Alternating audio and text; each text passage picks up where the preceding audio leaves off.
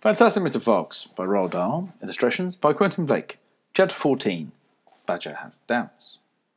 Just one more visit, cried Mr. Fox. And I bet I know where that'll be, said the small fox, now left. He was the smallest fox of them all.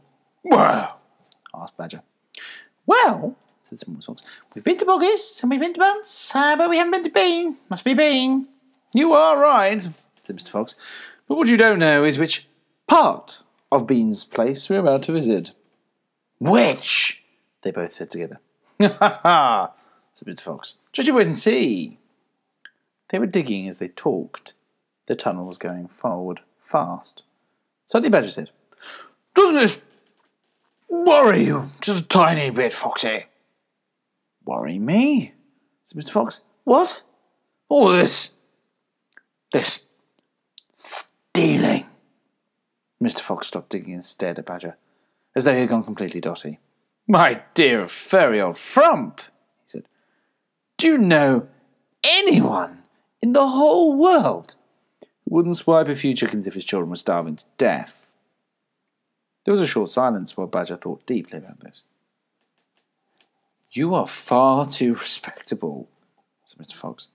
There's nothing wrong with being respectable, Badger said. Look, said Mr. Fox.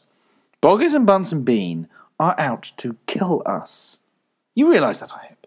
I do, Foxy. I do indeed, said the gentle Badger. But we're not going to stoop to their level. We don't want to kill them. I should hope not indeed, said Badger. We wouldn't dream of it, said Fox. And she will, we will simply take a little food here and there to keep us and our families alive, right? I suppose we'll have to, said Badger. If they want to be horrible, then let them, said Mr. Fox.